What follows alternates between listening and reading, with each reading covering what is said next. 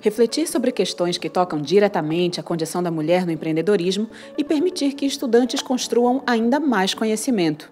Com esta proposta, o projeto de extensão Resgatando Histórias e Trocando Saberes, do campus paulista do IFPE, arregaçou as mangas e foi em busca das histórias de vida de empreendedoras que atuam naquela cidade. Sob a coordenação dos professores Fernando Lima e Jéssica Oliveira, a equipe de bolsistas e colaboradores se preparou e caiu em campo. É, o projeto ele teve basicamente quatro etapas, né? a saber, o referencial teórico, a, a ida a campo, que foi a pesquisa de campo, a análise dos resultados e a confecção do artigo. Então, primeiramente, em relação ao referencial teórico, a gente definiu a literatura sobre gênero e empreendedorismo. Né? Na parte que consistiu na ida ao campo, a gente fez entrevistas com três personagens em profundidade. Após isso, a gente uh, discutiu os resultados a partir dessas narrativas. E após todas as análises de dados, a gente procedeu à confecção do artigo.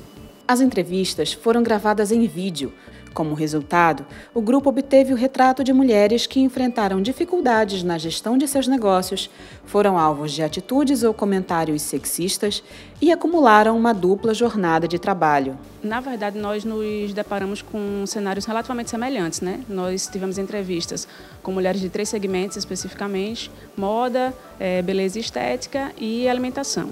E em diversas das narrativas nós percebemos traços muito fortes do, do, patriarcado.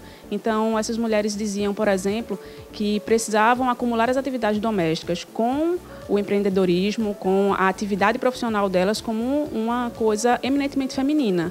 A falta de credibilidade de fornecedores aparecendo no, discurso, alguns discursos machistas, inclusive, no próprio ambiente de trabalho. Infelizmente, perceber no discurso que isso era tido como natural.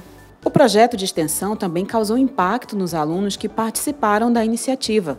Larissa Araújo e Rogério Nascimento são estudantes do curso técnico em administração e atuaram como bolsistas. Eu venho de um local que não, que não vem de muita reflexão em relação a essa discussão social. Então, o projeto ele trouxe muito isso, essa, essa reflexão, essa discussão que, que fizemos em relação ao tema que tratamos e foi muito enriquecedor.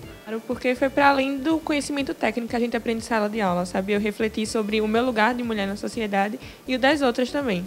Depois de todas as etapas já atravessadas, a ideia é que as entrevistas deem origem a um documentário.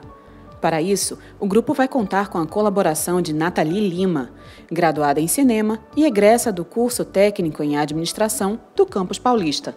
Então, eu acho que o resgate é importante porque a gente dá voz a essas mulheres a partir de uma da linguagem audiovisual, que é uma linguagem muito mais dinâmica e universal e muito acessível, né?